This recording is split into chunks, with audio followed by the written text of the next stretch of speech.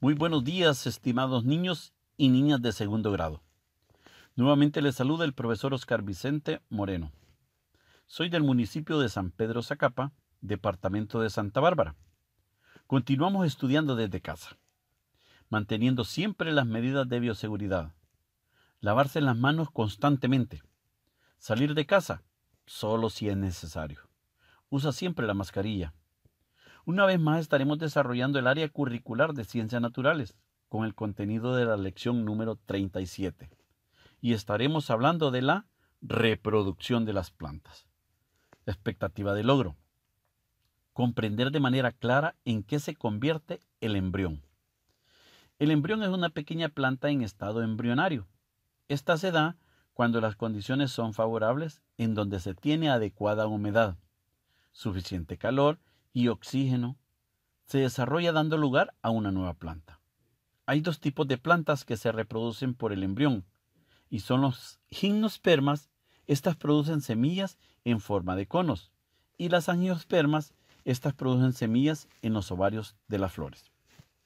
El embrión contiene las siguientes partes. 1. La radícula es la parte del embrión que emerge o aparece primero. Una vez fuera, se convierte en una auténtica raíz, produciendo pelos absorbentes y raíces secundarias. 2. La plúmula es la yema. Se encuentra al lado opuesto de la radícula. La número 3. El hipocotilio es el espacio entre la radícula y la plúmula. Se divide a su vez en el eje, situado a continuación de la radícula y el eje epicotilio. Situado por encima de los cotiledones, se convierte en un tallo. 4. Los cotiledones adquieren la función de primeras hojas o de reservas alimenticias. A veces ambas cosas a la vez. De acuerdo al número de cotiledones, clasificamos las plantas en monocotiledonias, con un solo cotiledón, o dicotiledonias, con dos cotiledones. 5. El epispermo es la cubierta exterior. Está formada por la testa. La testa es casi siempre dura y resistente. La semilla, simiente o pepita es cada uno de los cuerpos que forman parte del fruto que da origen a una nueva planta. Es la estructura mediante la cual realizan la propagación de las plantas que por ello se llaman espermatofitas. ¿Cuáles son las espermatofitas? Son las plantas con semilla. Los embriones de las plantas se clasifican en embrión basal, embrión periférico y embrión axial. Los basales, según el tamaño, se clasifican en rudimentario, amplio y lateral. Los axiales son los más frecuentes y hay varios tipos según forma y tamaño. El proceso de germinación de una planta es A. Germinación. B. Crecimiento. C. Polinización. D. Fecundación. E. Fruto. El desarrollo de la semilla puede dividirse en tres fases. Número 1.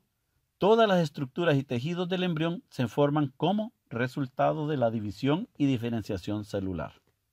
2. La semilla crece y se activa el programa de síntesis de reserva. Las sustancias de reserva reemplazan el agua en las vacuolas de las células reduciendo el contenido de agua hasta un 40 o 50%.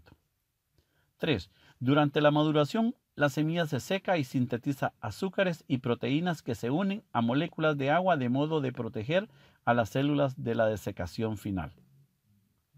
En el proceso de germinación se distinguen tres fases. 1. Hidratación. Es cuando absorbe gran cantidad de agua. 2. Germinación esta se da una transformación para el desarrollo correcto de la planta. Y tres, crecimiento. Las células del embrión comienzan a agrandarse y la cáscara de la semilla a abrirse. Muy bien. Valorando lo aprendido, niños, ubíquense en su cuaderno de trabajo en la página número 111. En la actividad número 2, ¿ya la tienen? Muy bien. Y dice así. Recuerdo y escribo el proceso de germinación de una planta hasta que produce frutos. Hasta la próxima, niños. Cuídense.